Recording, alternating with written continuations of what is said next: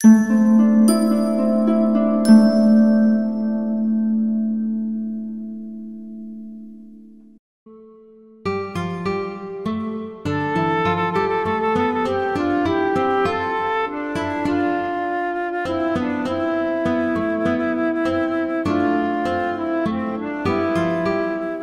Ragged Wood by W. B. Yeats.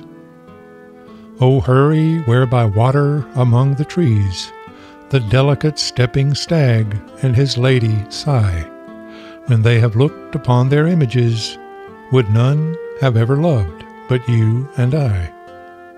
Or have you heard that sliding, silver shoed, pale, silver proud queen woman of the sky, when the sun looked out of his golden hood?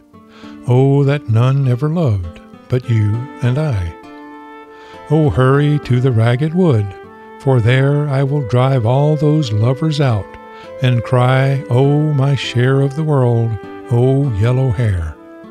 No one has ever loved but you and I.